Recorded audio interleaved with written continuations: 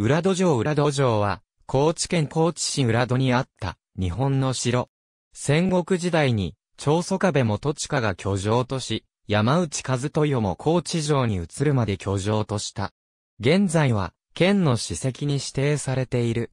高知市南部、桂浜の北部丘陵の浦戸山城に築かれた、中世の平山城跡で、土佐湾に面している。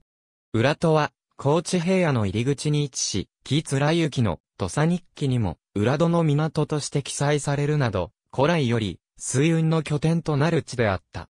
古くより城塞があったとされるが、本格的には、戦国時代に、元山市により築城されたと考えられている。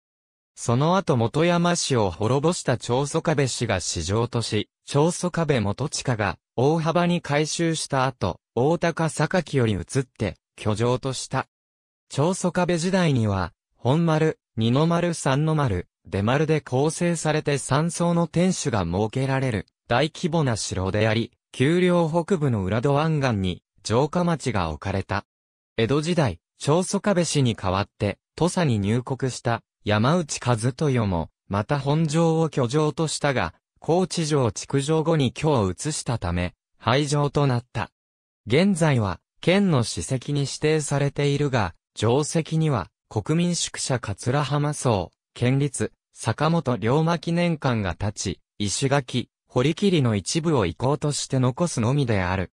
城跡のある、浦戸山には、鎌倉時代室町時代初期に城塞が存在していたとされる。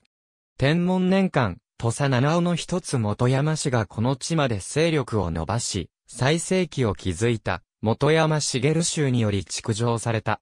永禄三年、長宗我部国親が長浜の戦いにて元山氏を破り、長浜城と共に本城を支配下に収めた。戦国時代末期、お工城を主城としていた国親の子、元親は、天正16年代、高坂山に城を移したが水害が多く、3年後の天正19年、裏土城をそれまでの海からの防衛を、主とした山城であったものから、水陸両面からの防衛を重視した本格的な城郭に改築し、居城とした。本丸、二の丸三の丸、出丸から構成され、五県四方三層の天守も備えられていた。慶長四年元親が死去しよう男、上信が家督を継ぐ。翌年の慶長五年、上信は、関ヶ原の戦いで、石田三成方についたが敗北し、長宗我部氏は改易された。同年、山内和豊が代わって、土佐藩主となったが、一両具足と呼ばれる、長宗我部急進の抵抗に相入国できない状態であった。10月19日、幕府の命を受けた、井伊直政が、家臣の鈴木平兵衛、松井竹下優を城の受け取りに赴かせたが、長宗我部氏の急進は、浦戸一揆と呼ばれる50日間に及ぶ頑強な抵抗を行った。結局、作謀によって鎮圧され、木内の273人の維新は殺害された。翌年の慶長6年1月になって、ようやく和豊が入城した。しかし、この地では手狭であると感じ、同年8月より、高知城建設に着手。慶長8年完成し、移ったため裏土城は、廃城となった。裏土城の非廃城後は、山内市による高知城追記に資材が使われ、さらに国民宿舎桂浜荘と坂本龍馬記念館が建築されるにあたり破壊されたため、現在、遺構と呼ばれるものはほとんどない。本丸石垣の一部と二の丸付近に三条の堀切りがわずかに残り、石碑が立っているのみである。桂浜荘と龍馬記念館の立つあたりが本城となる。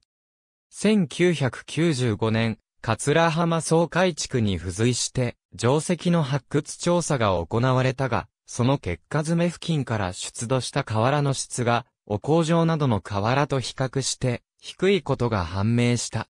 この結果を受けて、裏土城は、朝鮮出兵に備えて築かれた臨時の拠点であり、将来的には、大高坂山城に本拠を戻す予定があったとする説も出されている。